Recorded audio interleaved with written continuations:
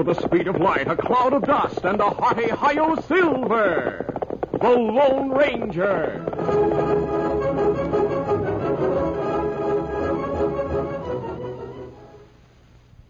General Mills, makers of Cheerios, the oat cereal that's ready to eat, Betty Crocker mixes, and Wheaties, the breakfast of champions, present by special recording The Lone Ranger.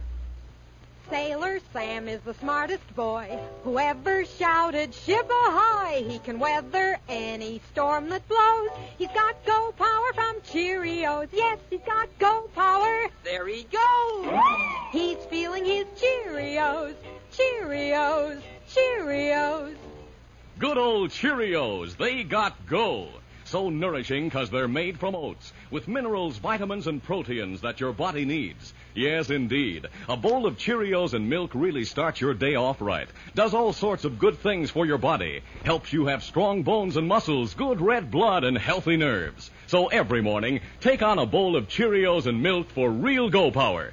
You like that wonderful toasted oat flavor, too. Downright delicious. Come to think of it, Cheerios is one of the tastiest muscle building foods you can eat. Try Cheerios and you'll hear. He's feeling his Cheerios.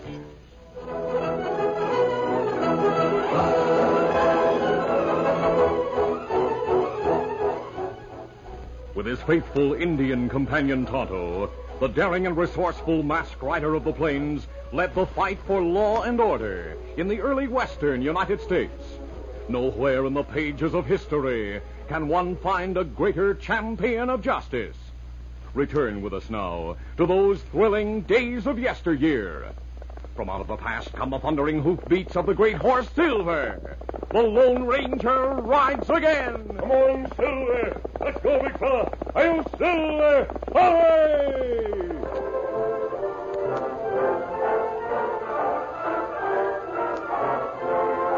Sheriff Drew of Three Forks, a short, stocky man, stood on tiptoe to tack a handbill on the bulletin board outside his office. Oh, carnation, take it. There goes the tack. Let me tack that up for you, Sheriff. I got a longer reach than you have. Well, thanks, strangers. Mighty kind of you here. Yeah, right. Hey, give me the hammer and tack. Uh, gladly. Have it up in a jerky. There you are. Handbill on an hombre called Lanky Radford, huh? That's right. They say he's a mighty mean hombre. Leads an outlaw gang. Yeah, let's see. Lanky Radford. Six feet two, slim build, weighed about 165, curly brown hair, blue eyes. Jagged scar on left wrist. Wanted for armed robbery. Reward. that hombre must be almost as tall and skinny as I am, Uh, taller and lankier, I'd say, mister. Thanks for tacking that up for me. That's all right. Here, here's the hammer and tack. Thank you. Hey, don't mention it. My uh, friends are waiting at the hitch rack. I'll see you again, Sheriff. So long. Adios, mister. Well, friendly sort of fellow. Wonder who he is. if if he had a little more meat on him, he'd be right nice looking with that curly brown hair. Cur- tall, lanky, curly brown hair. And he has a scar on the left wrist. That's him, Lanky Radford. Hey, hey, come back here!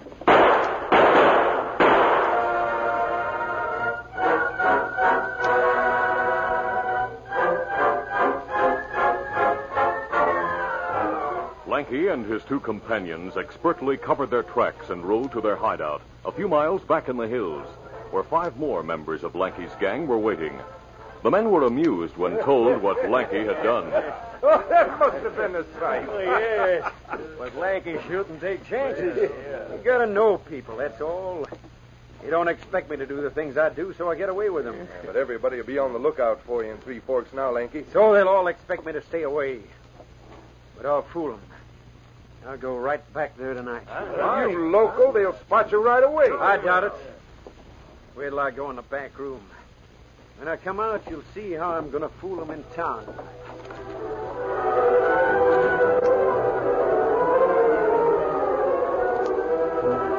Ten minutes later, Lanky came out of the back room. He wore a reversed collar and long black frock coat. His usually curly hair was slicked down with oil and topped with a black hat. We're jumping catfish. Look at Lanky. Looks like a preacher. What do you plan to do this time, Lanky? Well, it's just about noon.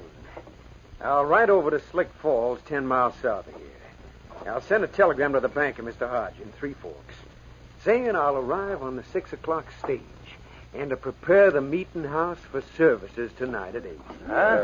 Why? We don't stab. I learned in town that the banker has asked for a preacher to be sent from Austin. He got the meeting house built and ready for the new preacher. But what's the idea? Why do you... Now, before I start for Slick Falls, I'll tell you all just what to do so our timing will be right. First of all, Porky, you'll be waiting at the meeting house for me. Right. Figure you'll Yeah. take the others to the back of the bank after the meeting starts.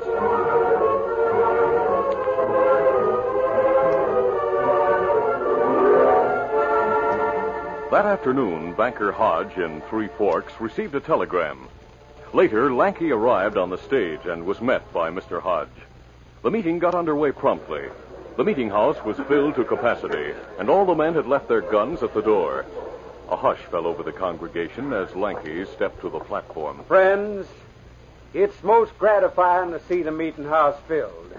now, uh, I always have the collection taken up before the services begin, so the congregation isn't disturbed later when their thoughts are on higher things.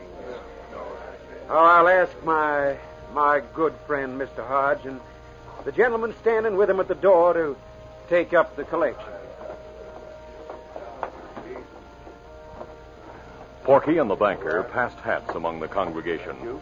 Then, after handing the offering to Lanky on the platform, they returned to the door where the men had removed their guns. Then Lanky again spoke from the platform. Now, good people, I want everyone to kneel for one minute in silent prayer before I start the sermon. Here come the sheriff and his deputy. Uh-oh. Now, don't be concerned. I'm sure they'll cooperate and leave their guns with us. Evening, Mr. Hodge. The meeting started. Uh, yes, Sheriff. I'm proud to say we have a very unusual parson. He requested that all guns be left here at the door, Sheriff. Well, all right. Eh, here's my gun belt. thank you.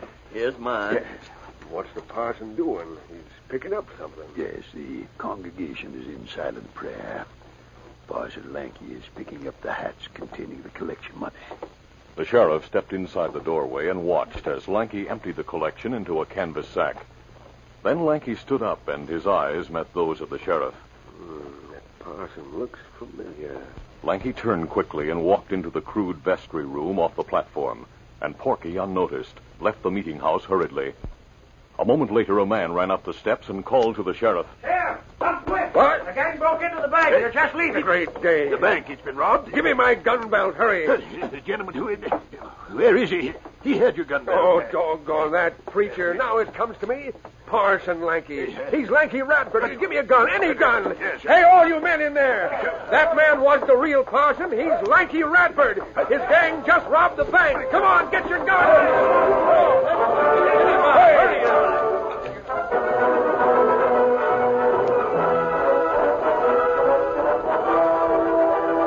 Stories of Lanky's prankish escapades spread throughout the Southwest and reached the ears of the Lone Ranger and Tonto, who were riding the trail not far from Three Forks. People in last town talk about outlaw leader who make believe him parson. Robbed bank with gang, Three Forks, two nights ago. Hmm, that sounds very much like the type of thing Lanky Radford would do, Tonto. Ah, them say him Lanky Radford. Him fool sheriff twice, same day. Lanky is clever and dangerous. While we're in this territory, we'll try to get a line on Lanky and his men. Come on, Phil. Get 'em up, Scout.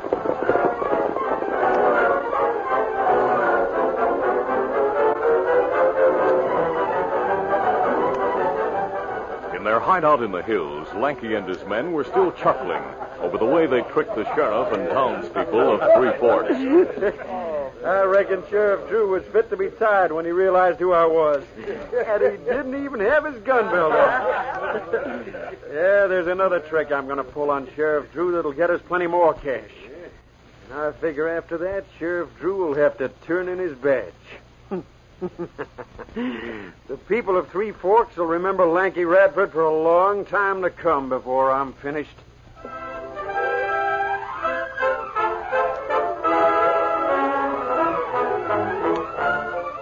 Continue our Lone Ranger adventure in just a moment.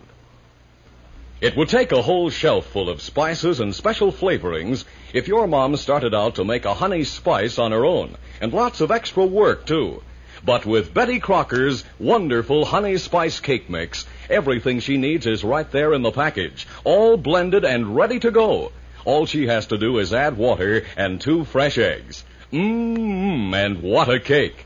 Why, a great big Betty Crocker honey spice cake disappears in nothing flat around our house. You just can't stop eating it. And I know once your family finds out how good Betty Crocker honey spice cake is, they'll make quick work of everyone your mom turns out. But she won't mind. They're quick work for her, too. So easy to bake. And they always turn out perfect. Betty Crocker promises that. So have Mom put Betty Crocker honey spice cake on her grocery list today, huh? You'll be glad she did. And so will your whole family.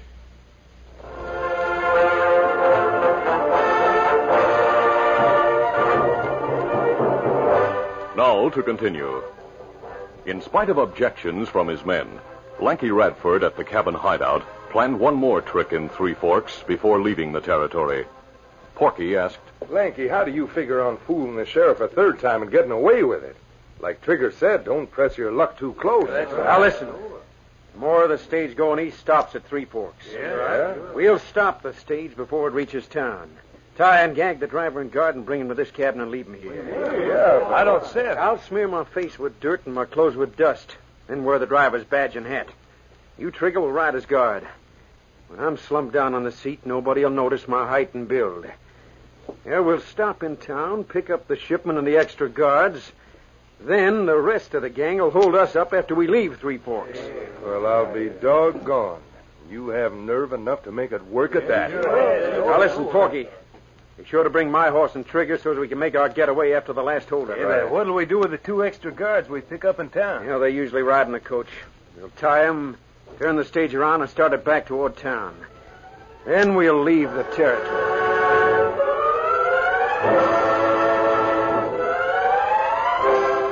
The next morning, a few miles from town and not far from the gang's hideout, the first part of Lanky's plan was accomplished. The stage driver and the guard were tied to the horses Lanky and Trigger had ridden and taken away by Porky and the rest of the gang. Lanky, his face smeared with dirt and wearing dust-covered clothes and the driver's weather-beaten sombrero, climbed onto the seat of the stage with Trigger. Come on, get it! Ha! Here!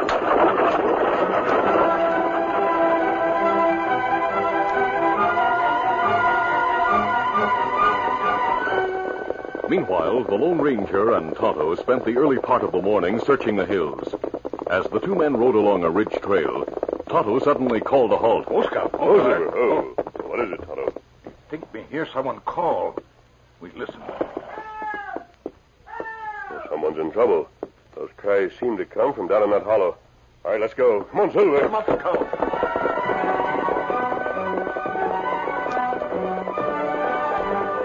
Few moments later, the masked man and Indian sighted a cabin hidden in a grove of trees.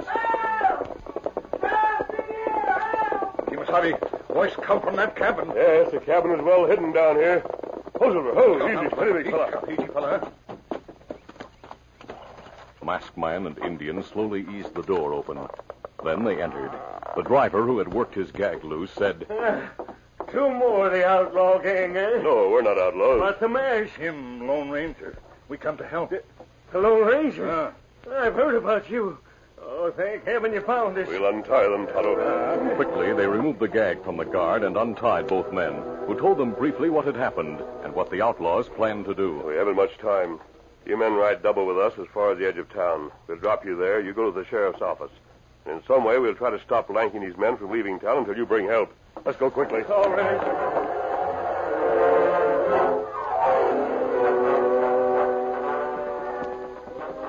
Few minutes after the stage left Three Forks carrying the gold shipment, and with the sheriff and deputy riding as extra guards, the two men who were brought to town by the Lone Ranger and Tonto raced breathlessly into the cafe. Hey, hey, where's the sheriff? On on the stage with the deputy as extra guards. Why? Holy smoke! Lanky Radford's driving that stage.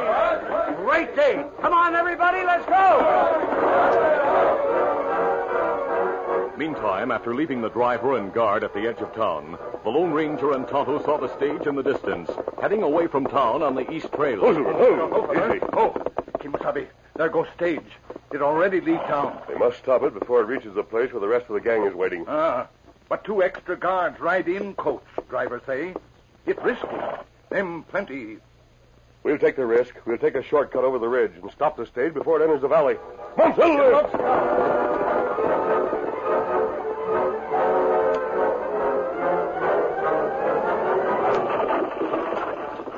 Lanky and Trigger on the seat, the stage rumbled toward the rendezvous with the gang. Eat up, sir. Eat up. Just before the stage reached the entrance to the valley, Trigger pointed and exclaimed, Hey, Lanky, look, coming down the slope of that ridge. Huh? Mass owl hooting an Indian. Looks like they're trying to cut us off. Yeah, we got to get rid of them quick. Hey, Sheriff. Here come a couple of outlaws. We'll have to fight them off. I thunder we'll soon show show 'em.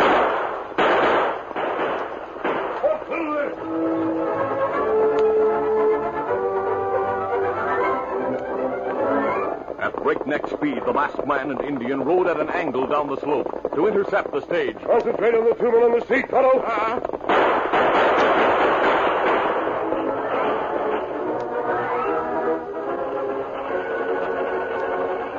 Lanky was driving the horses at top speed, and the stagecoach bounced and swayed over the rock trail, spoiling their aim as the four men fired at the oncoming riders.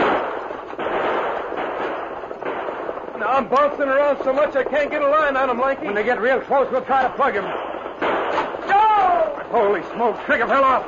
Get up there, come on. Here they come. Ah! Lanky, wounded in the wrist, dropped his gun and the reins. A moment later, another bullet caught him in the shoulder. Oh! And the outlaw leader slumped down on the seat. The horses, without a driver, raced onward in a frenzy of fear. Inside the coach, the sheriff and the deputy realized what had happened. Sheriff, the guard fell off and the driver's wounded. The horses are running wild. Yeah, I know. Here come the outlaws. I'll get a chance to plug plug 'em, maybe. Wait, hold on. Don't shoot yet.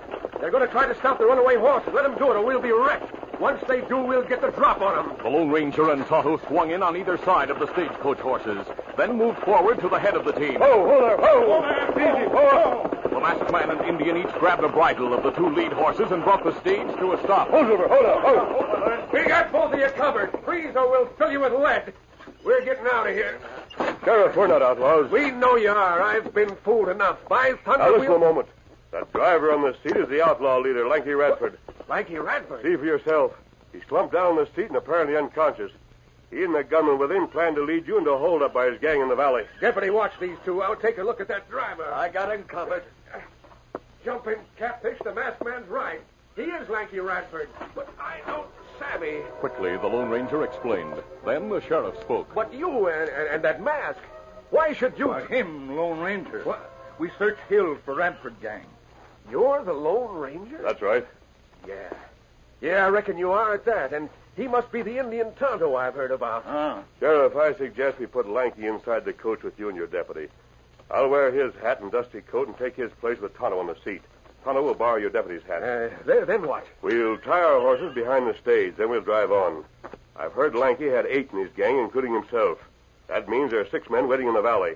We four should be a match for them because we'll be taking them by surprise. Anything you say, mister. I'll give my eye teeth to capture Lanky's gang. Let's go.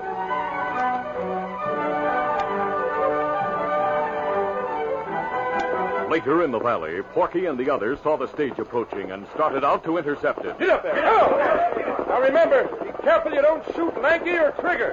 When we get close, aim your shots into the coach.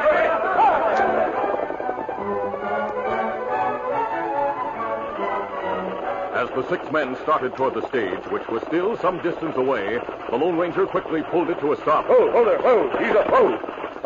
Hey, come on, Tonto, before they're close enough to know what's going on. Ah. The two men hurriedly led Silver and Scout to the far side of the stage, then mounted Easy, steady, big fella. fella. and waited until the outlaws were close.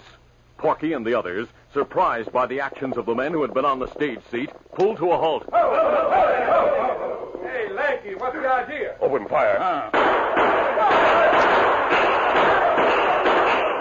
Two of the outlaws fell wounded. The other four returned the fire, then turned as if to escape to the slope. But they were surprised and dismayed to see the posse, which had followed the stage, riding in to cut them off. Hey, look, the posse! They're moving in behind them! Use your guns! Caught between the guns of the men at the coach and the posse, the remaining four men realized something had gone wrong and that they had no chance. They soon surrendered. Pick him up! We're dropping our guns! By golly, we got him. Yeah, and here comes a masked man, Injun. Oh, Silver. Let's go. Oh, oh mister, you sure turned the tables on him. Hey, what about the sheriff and his deputies? Here they come on foot. Man, I, I reckon you all know by now how Lanky Radford fooled me again. But thanks to the masked man and his Indian friend, we have Lanky and his gang. We found one of them wounded back on the trail. One of the men stayed with him. Lanky is wounded and unconscious in the coach. We'll give him and the others first aid, then take him back to town. If Tonto and I can give further Oh, help, we I- have everything under control now, thanks. in that case, we'll leave. Adios, Sheriff. Adios and many thanks, mister. Adios, everyone. Adios. the driver and guard told us those two hombres are friends. But just who are they? And why does one of them wear a mask, Sheriff? Lanky Radford may have fooled me more than once, but he never fooled that masked man. Never. And neither will any other crook for that matter. You see, that masked man is none other than the Lone Ranger.